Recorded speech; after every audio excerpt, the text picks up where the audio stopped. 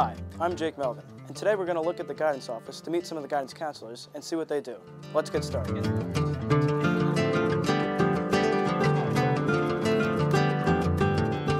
I enjoy just learning about you know what, what our students like, what they enjoy. Um, I have great relationships with students, which is awesome because they can come in, we can have more of a one-on-one setting. Um, you know, I used to be in the classroom and taught for about 10 years. Uh, so it's just a little bit different dynamic, but when we come in uh, and just meet one-on-one, you know, sometimes the, uh, um, you know, the shield kind of goes down. They can be a little more, you know, frank with, you know, how they feel about certain things or, so it's, it's a little bit different dynamic and I, I love that part of it. And a lot of times, uh, you know, they open up about things they may not open up about to anybody else. My name is John Shackelford. I am the junior counselor here at Phoenixville Area High School for the class of 2017 a lot of people hear, you know, counseling, so they think that we're uh, working with students maybe who are having troubles in school, um, who are uh, just even, you know, having a bad day all the way up through really serious problems. Uh, and all that's true. So we do a lot of different things. Academic work, uh, personal social issues, uh, also, you know, college and career planning as well. Um, so we do a lot going on there. Um, it's pretty comprehensive. Um, so the reason I actually became a guidance counselor, um, I actually was interested in going into psychology um, and was also interested in journalism and awareness and spreading awareness. Um, and I actually met with one of my professors in college and she said that I would be interested in doing something that's kind of at the forefront and meeting with students. Um, in public education, students are able to come to us. Um, we are kind of we're able to be kind of at the forefront and being able to help students reach their academics, but also reach community services if they need them. Um, so I definitely enjoy the fact that it's very different, it's very diverse, it has a good group of students, and all students um, have different interests. That keeps um, definitely keeps you on your toes because there's so many different career opportunities now for students, and everything's changing with um, social media, with the internet. Um, everything is kind of changing. All different. The globalization of the work um, the work, workforce is changing. Hi, I'm Kimberly Osborne, and I'm a guidance counselor at Phoenix Area High School, and I serve the class of 2018. And one of the things students can do to have a meaningful meeting with their guidance counselor would be kind of thinking ahead and kind of building up some questions that they might have developed over time but haven't met with us necessarily. Um, we've been having one-on-one meetings um, this past February and into this week and next week where um, We've scheduled meetings with students to discuss scheduling for the 2016-2017 school year, also to discuss uh, NCAA, AP potential, in addition to different career interests. The students who can think about that and plan for those meetings is very important. Um, but students just getting to know us, scheduling an appointment, not necessarily us calling students down, but students seeking us out is also very helpful. Um, and just kind of if they have any questions coming to us, um, some students will shoot us an email um, if they have a question, but making sure they're staying on top of their graduation requirements in addition to us looking at that.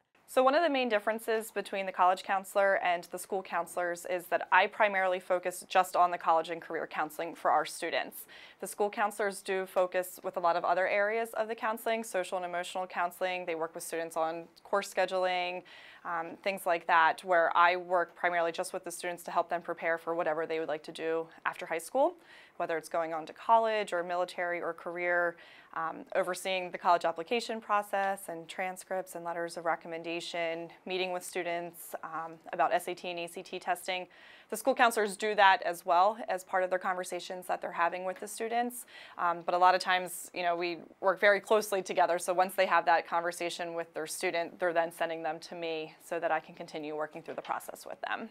I'm Mrs. Marin Bala, the College and Career Counselor at Phoenixville Area High School. One of the biggest things that I enjoy about being a college counselor is the fact that I really get to work with the students on what their future goals are. Um, it's very rewarding when I get to start working with the students as early as you know, junior year and mapping out their timeline and helping them figure out what they want to major in, what their potential careers are, and then ultimately walking them through the process and helping them get to, you know, the college that they want to go to or find that full-time job that they're interested in. So it's very rewarding um, and it's very exciting at the same time, and that is one of the biggest things that I do enjoy about it.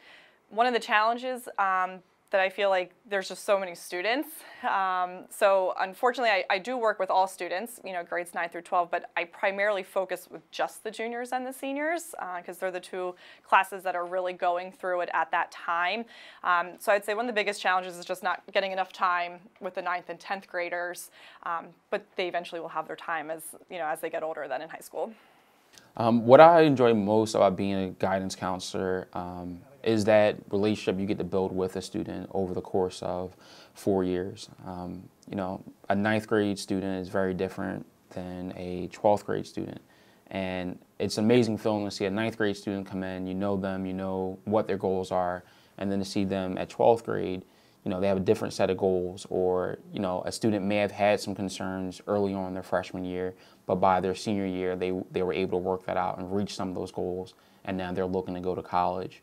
Um, and, and with that, one of the more difficult things is when you see a student and they're having a difficult time making good decisions and they don't necessarily understand how those decisions are are, are going to hurt them in the future um, and that makes that that's hard sometimes because you you want to be able to help um, students through that and sometimes it just takes time for them to understand um, that they they can't make the same decisions that they, they were and what path that's leading them down.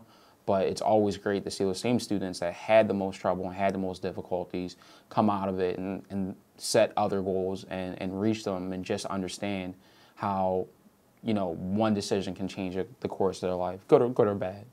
My name is paul bryant iii i'm the 12th grade school counselor here at phoenixville area high school. Um, i believe at the end of four years and meeting with students and constantly meeting with them every year. We we go through each year. You know, your freshman year, what classes are you looking to enter into for your 10th grade year? Same in the 11th, and always keeping in mind what do you want to do after you leave Phoenixville Area High School. Um, so I think on a personal level and an academic level, throughout the four years as a student, um, you get to know that student very well academically and personally because we're constantly want to make sure that um, we keep setting goals and reach them and making sure that along the way you're on the right path to reach that final goal. Hi, my name is Liz Kilpatrick. I'm a counselor here at Phoenixville Area High School serving class of 2019.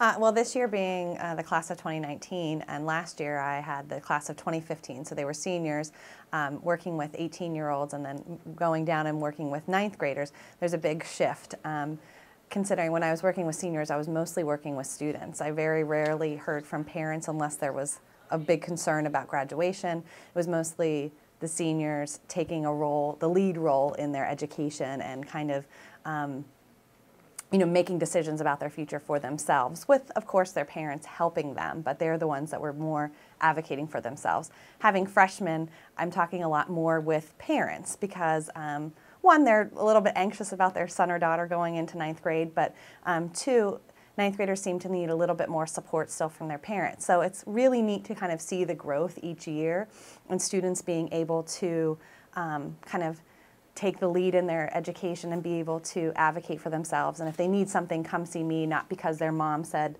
their mom emailed me and said, can you check on this student? It's because they came and asked for help or support. So I think um, there's a lot of growth that happens between ninth and 12th grade, which is kind of a neat thing to work as a counselor to kind of see that and see students really develop um, their areas of interest, see where their life is sort of taking them and making those decisions along the way. Uh, one of the biggest changes I've, I've had in working with uh, students over the past 13 years is the location and setting that I've worked in. So I, I came from an inner city um, Philadelphia schools and worked there for about 10 years before coming to Phoenixville. And so um, but the, the needs are still great for students. I think one thing that's changing is that the role of counseling is moving on more just for from scheduling, but it's actually you know helping students with mental health concerns um, and just you know self-esteem issues and and I think that's an important part of, of being a support and advocate um, as a counselor. It's more than just academic and scheduling um, to our to our roles here at the school.